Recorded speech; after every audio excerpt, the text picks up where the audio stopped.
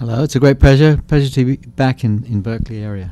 You've written a very engaging and insightful book, The Road to Reality, a complete guide to the laws of the universe. Could you tell us a little bit about it and what motivated you in writing it? Yes, well, the book is uh, meant to describe what's going on in basic physics today and what led up to that in terms which are a bit more technical than the accounts that you normally get in, in popular books. So uh, it was an attempt to describe things at a deeper level than you than you can usually get access to without you know without going to the full thing and reading a textbook. I should perhaps explain the origin of the book, which might be of some interest to people. Some years ago, I wrote a book called The Emperor's New Mind, and that book was describing point of view which I had about consciousness and why it was not something that comes about from complicated calculations. So we're not exactly computers, something else going on, and the question of what the something else was would depend on some detailed physics, was the idea. And so I needed to have chapters in that book which describes the physics as it's understood today. Well, anyway, th- this book was written, and various people commented to me. They said, "Well, you know, I could perhaps use this book for a course, physics for poets, or whatever it is, if it didn't have all that contentious stuff about the mind in it." So I thought, well, that doesn't sound too hard. All I do is I get my scissors out and snip out all the bits which have something to do with the mind. The trouble is that uh, if I did that, and I didn't actually do it, but I sort of imagined doing it, the whole book fell to pieces, really, because the whole driving force behind the book was uh, this quest to find out, you know, what could it be that constitutes consciousness in, in the physical world as we know it or as we might hope to know it in the future. But um, without that driving force, the book sort of didn't hang together really. So I had to think of some other basis for this. See, initially I thought of a book about half as long as the other, and the other one's about 400 the search for the laws which govern the universe at its deepest level, that kind of thing. So that meant I had to include a lot of other things in the book and uh, a lot of mathematics because I wanted to explain it at the same sort of detail as I did in The Emperor's New Mind, or maybe a bit more. And this required describing a lot of mathematical ideas in some, well, not too much detail, but to give the gist, the basic uh, feeling for what was really going on and I made a list of all the different mathematical topics, and, it, and, I was rather horrified to see how many there were. And it was even worse in a sense because when I wrote the book, I kept realizing there were topics I hadn't really covered and needed to put them in somewhere. So it, it, it made uh, for a long book, I'm afraid. But you have the advantage with the US printing, I should say, because the, the paper is just slightly thinner, so the whole book is, is is not quite so big, and it doesn't weigh quite so much. And the and the paper is better quality, so the the pictures and the and the printing looks better too. Great. So let's talk a little bit about physics. Um, in string theory, the particles in the universe are generated by the vibration of loops of constructs known as strings. The mathematical framework for describing these loops require multiple dimensions, and one variation requires up to 26, while the conventional model relies on 10. Um, in your twistor theory, you can do away with all these extra dimensions. Can you explain that a little bit, perhaps? Yes. Let me just backtrack a little bit. That, as you say, the, the way string theory works seems to require all these extra dimensions, and uh, this comes from certain certain consistency requirements about how strings should should uh, should behave and so on. Now, twistor theory is something quite different. It's an approach to understanding how space space time and quantum mechanics might fit together in some way. But the basic idea in twistor theory is not to add extra dimensions. In fact, it's very crucially only three space dimensions and one time dimension. It's the number of dimensions we experience. But instead of adding extra dimensions, it's a reformulation of the space time as we understand it. So instead of thinking of points as being the fundamental entities, which is what you usually do when you think of space, space time, or events, points, instantaneous points. You think of entire light rays. It's not quite that. Entire light rays, you see, if you made a space each of whose points represented an entire light ray, you'd find that that space had five dimensions. Now, one of the basic driving forces behind twistor theory is to find a theory which is based fundamentally on complex numbers. Now, you see, complex numbers where you involve the square root of minus 1 into ordinary real numbers, they've been very useful in mathematics for many, many centuries. Only in the 20th century did they start to find a fundamental role to play in physics namely in quantum mechanics. So suddenly you find these wonderful numbers that work so well in mathematics but didn't seem to have any role to play in the physical world. Suddenly they did have a role to play in the physical world. Well, twistor theory is trying to take that one step further. So you look for a role for these complex numbers, complex spaces, and so on, to have a, a role in in space time geometry. And what you find is that if you look at light rays instead of points, you find almost, and I'll qualify this almost in a minute, or explain it in a minute, you find almost that the light, space of light rays is a, is a complex space. It can't quite be because the space of light rays is five dimensional, and any complex space has to be an even number of dimensions because each dimension counts as two dimensions. See the real and the imaginary parts. So, where is the extra dimension? Well, what you find is that if you don't just think of light rays as, as sort of a path, a path of a single point, but you think of it as something spread out which has a, a spin. So, it's in that, in actual fact, ordinary photons do have a spin. They have, have a, a notion of helicity, so they spin around their direction of motion and they can spin one way or the other way, and they can also have a, a different energy. And what, it, what you find is if you incorporate these ideas into your photon, that you get another dimension, and you therefore get six dimensions, and miraculously, this six dimensional space is a complex space. So the idea of twistor theory is to take that complex space and you try to work with that. Now, you see, it's completely equivalent to the space time description. You can use one or you can use the other. So you say, why, why does it matter? But you're sort of driven in different directions. If you take twistor space as the basic geometry, then you find it's naturally complex and you do things which are naturally complex and it drives you in a certain direction. And that's the that's basically what twistor theory is about. Basically it's a, it's a reformulation of geometry in a way which is more compatible with quantum mechanics. As it stands, it doesn't change any physics. It's just a, a different way of representing it. But I should say there's a, there's a bit of an irony in this that in the book I make the point that here we've got string theory and here we've got twistor theory and we don't know if either of them is a right approach to nature. But they can't both be because they are incompatible in the sense of having different number of space dimensions. Well, the irony is that uh, just a bit over a year ago, Edward Witten, who's the sort of one of the prime, I mean, he is the sort of prime mover in modern string theory. yes, at Princeton, that's right. And he's he's introduced many very ingenious notions which have pushed string theory forward in, in many ways. And he wrote a paper which appeared on, on the web in December and 2003, uh, in which he combines the ideas of string theory and twistor theory. So the idea is basically you don't put your strings in these extra dimensions. That, that's what you what people have been doing up to this point.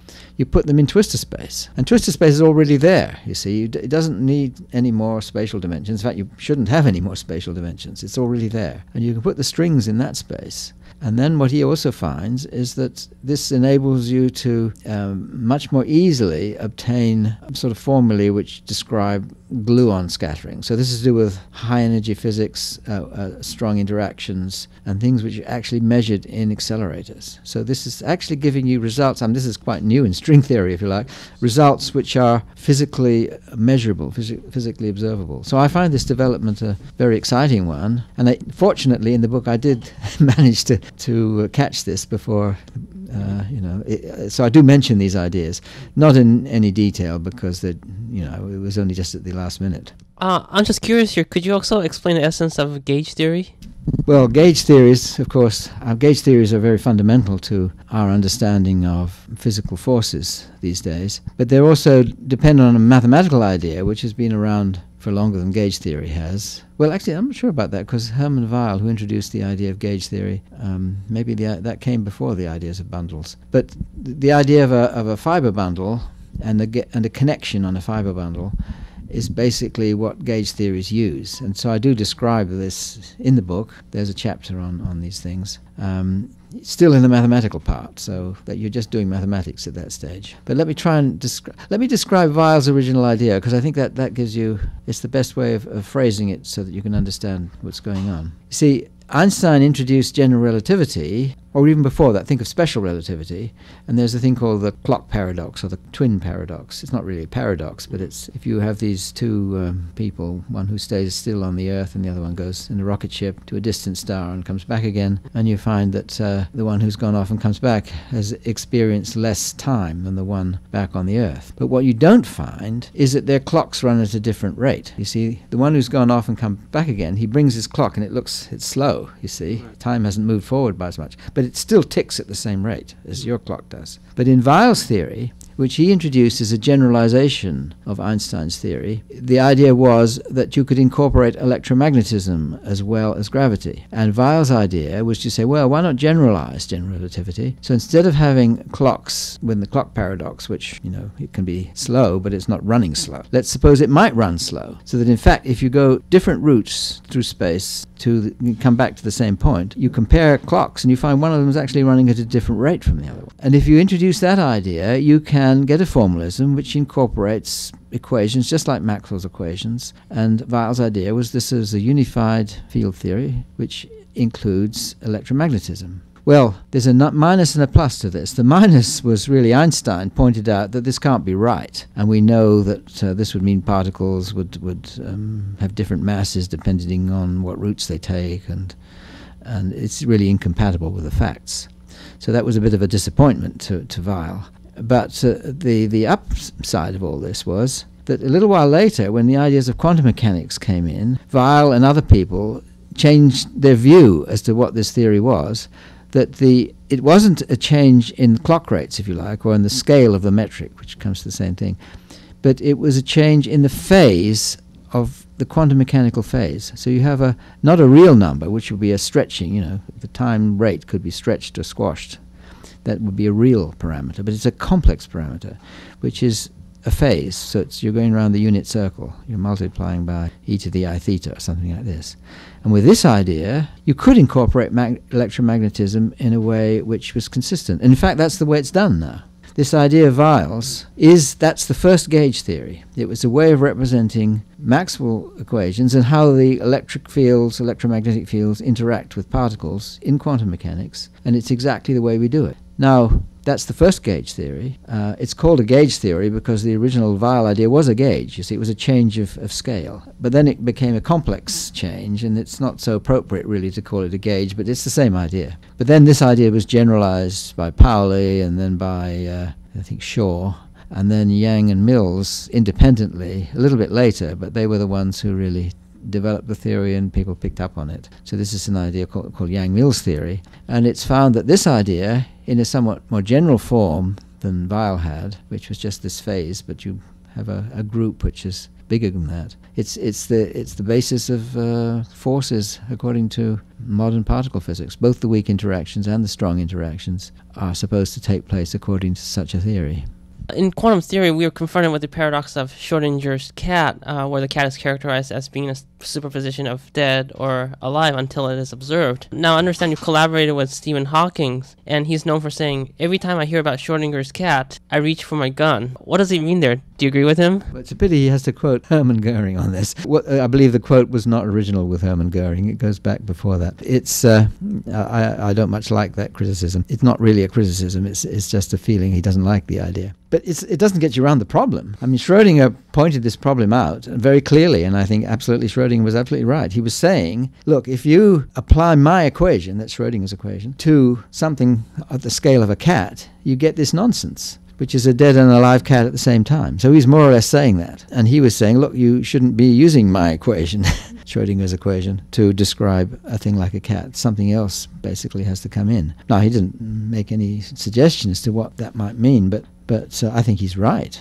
And uh, although all sorts of points of view are developed to try and accommodate Schrodinger's cat one way or the other, well, the main two are, are that somehow environmental decoherence, it's called, somehow the, the state gets so complicated and mixed up with the environment that you, you have to change your procedures. None of these things really work if you follow them through. Um, the second one is, is what's called many worlds interpretation. You say, okay, the cat is there in these two superposed states, and if somebody comes along and looks at it, then that person now is has two superposed versions of them, one seeing the live cat, one seeing the dead cat, and they're in superposition too. And then the argument is somehow that there's a bit of a, you have to be a bit generous about that point of view here, that uh, somehow your conscious perceptions must perceive either the alive cat or the de- dead cat. And it's not really explained why, I mean, because what you, according to Schrodinger's equation, you ought to be perceiving them both at the same time. And that's, that's not what we actually perceive. So it's where you're driven if you don't believe there should be a change in quantum mechanics. You're driven to this many worlds view. But it doesn't get you out of the problem. You're driven there, but you still have the problem. So what I'm saying is why don't we think about changing Schrodinger's equation at some level when masses become too big, in a sense, and in, at the level where you might have to worry about Einstein's general relativity. So that's my own view, and that there will be a change in the structure of quantum mechanics at that level. Another way of saying this is it's a question of what's quantum gravity. You see, most people think quantum gravity means you apply standard quantum theory to the structure of space-time. And this means you'll have to do something different about space-time structure. Okay, I don't have any qualms or quarrels with that. But what I worry about is why standard quantum mechanics. Now, of course, I can see why people, when they do quantum gravity, why they don't change quantum mechanics, because if you change that, you're pretty well, well, you've changed everything. So what do you do, you see? So I can see that it doesn't tell you where to go. Nevertheless, it might be what nature is doing. And I think there are good reasons to believe that that is what nature is doing, that there are changes in the structure of quantum mechanics at that level. And there, there are several different independent reasons for believing this that, that are described in this book. So the, a lot of the book, a major part of the book, I would say, is devoted to this issue in different aspects. So it's spread over several chapters. Uh, so Steve Wolfram's famously known for developing Mathematica, and he's also a pioneer of cellular automata, which lets you create complex patterns from simple algorithms. Um, do you see any promise or insight using these methodologies? Well, I think these are interesting ideas, and he certainly develops them uh, to quite a considerable degree. But I don't myself believe there's any evidence that these ideas are playing a big role in, in physics. So certainly none of the standard physical theories can be thought of as, as cellular automata in any clear sense. Looking back, what's your most cherished epiphany? You mean what the thing that I'm pr- most proud of? And well, I think it has to be Twistor theory. Um, I mean, it, it may not be the thing that most people know about that I've done. I mean, maybe the non-periodic tilings or something. But no, but Twistor theory uh, is the thing that I would like to be remembered for most, I suppose, if that's. so, what are your thoughts about Kant and Hegel? Uh, Hegel describes a very different road to reality: history as a dialectical series of events. Um, you end the preface in your new book with a wonderfully wise statement about the need to study the forces that really shape the world. Uh, can you share us your thoughts about the human experience beyond physics? Well, I don't know that I can comment on on uh, Kant or Hegel because I'm I'm no real philosopher uh, in the sense of knowing what these people ha- have said in any detail. So let me not comment on that too much. But I suppose I do think that uh, you see this this book is is about physics and it's about physics and its relationship with mathematics. So it's about physics and mathematics and the how they seem to be intimately related and to what extent can you um, explore this relationship and trust it just in the at the end of the book, I do mention what you can regard as the sort of other Platonic absolutes. So, if you like, what I've been concerned with is the Platonic absolute of truth in its particular form, that is mathematical truth, which is a sort of very idealized form of truth. But I think it's a serious issue to wonder about the other Platonic absolutes of, of say, beauty and, and, and morality. I don't think the case for them is as clear as it is for truth, but on the other, ca- uh, other hand, there does seem to be some connection between between beauty and and the search for these laws that govern the world, and that you,